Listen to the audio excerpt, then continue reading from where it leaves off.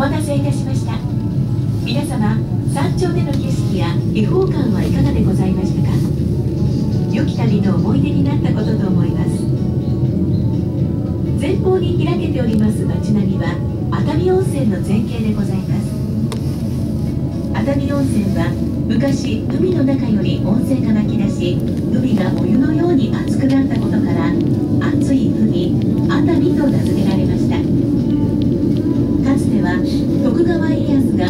時に訪れたと伝えられる四季を通じて暖かく風光明媚な温泉郷でございます。右下は熱海後楽園ホテルの前景で客室から100万ドルとも言われていました熱海の夜景や花火大会を一望することができます。現在工事中の休館跡地には熱海最大級の日帰り温泉施設をはじめをテーマにしたダイニングやマーケットなどを備えた複合型リゾート施設が2019年春にオープンする予定です。ぜひご期待くださいませ。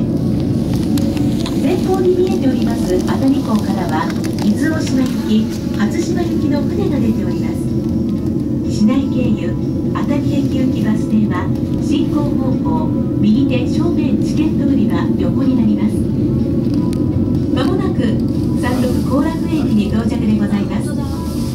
お出口はゴンドラを降りまして左側となっております。お降りの際はお足元に十分ご注意ください。本日は熱海ロープウェイをご利用いただきまして誠にありがとうございました。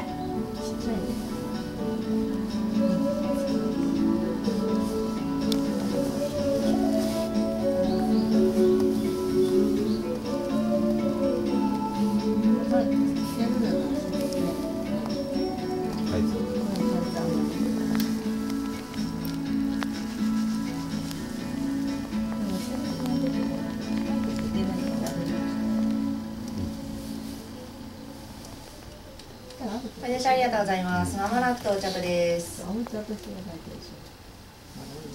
お出口階段を降りまして左手になります。降りの際足元にご注意くださいませ。